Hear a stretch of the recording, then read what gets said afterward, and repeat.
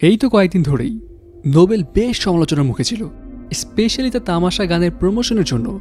সে যেভাবে বাংলাদেশের music industry এবং লেজেন্ডদের নিয়ে বিতর্কমূলক স্ট্যাটাস দিচ্ছিল, সেটা নিয়ে অনেকেই বেশ ক্ষিপ্ত ছিলেন। এরপর তো তাকে র্যাবের কাজলে ডাক দেওয়া হয়, তারপর তিনি লাইভে এসে মাফও চেয়ে যায় এবং সবাই ভেবেছিল কাহিনী হয়তো এখানেই শেষ। কিন্তু না, সব কিছু ছাপিয়ে নতুন করে জন্ম নিল আরেক বিতর্ক। বিভিন্ন সোর্স থেকে জানা যায় যে নোবেল বিয়ে করেছেন। ইনফ্যাক্ট এটা নিয়ে অনেক গণমাধ্যমে খবরও চাপা হয়।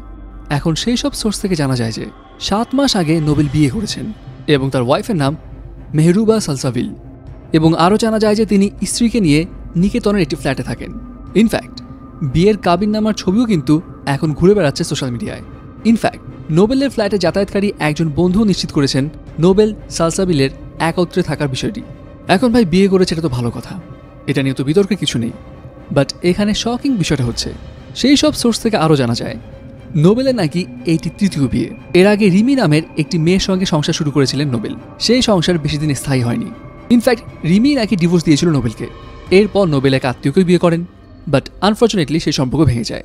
অন্যদিকে আবার নোবেলের বিয়ের এই নতুন খবর নিয়ে সোশ্যাল অ্যাক্টিভিটিস্ট ওমি রহমান পিয়াল একটি স্ট্যাটাস দেন, যেখানে তিনি নোবেলকে নিয়ে কিছু চাঞ্চল্যকর ইনফরমেশন তুলে ধরেন। তিনি লিখেন নোবেল তার স্ত্রীদের মারধর করতেন। ইনফ্যাক্ট নোবেল তার বর্তমান স্ত্রীকে নিয়ম করে নাকি তিনবেলা মারধর করেন। এই কথাও তিনি বলেছেন। নট অনলি দ্যাট তিনি আরেকটি ইনফরমেশন শেয়ার করেন যেটা আসলেই অনেক শকিং তিনি লিখেছেন, নোবেল দুই সপ্তাহ আগে তার মা এবং বোনকে রাতের বেলা বাসা থেকে বের করে দেন এবং পুলিশ এসে পরবর্তীতে পরিস্থিতিটা সামাল দেয়।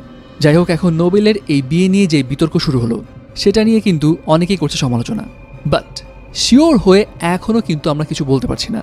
কারণ যে ইনফরমেশনগুলো আমরা জানতে পেরেছি, সেগুলোর কিন্তু এখন যাচাই বাছাই করা দরকার আছে। আর তাছাড়া, নোবেল নিজে কিন্তু এখনও এই বিষয়গুলো নিয়ে কোনো ক্ল্যারিফিকেশন দেয়নি। এখন দেখা যাক, নোবেল আসলেই এই বিষয়গুলো নিয়ে মুখ খুলে কিনা, কিংবা নোবেলের পরিবারের কাছ থেকে কোনো ইনফরমেশন পাওয়া যায় কিনা, অথবা নোবেল যাকে বিয়ে করেছে বলে এখন জানা গিয়েছে, সে এই বিষয়গুলো নিয়ে সামনে আসে কিনা, এই ঘটনা এখন কোন দিকে যাবে, সেটা তো জাস্ট সময় বলে দিবে। সাবস্ক্রাইব স্টার গল্প আর বেল আইকনে ক্লিক করতে ভুলবেন না।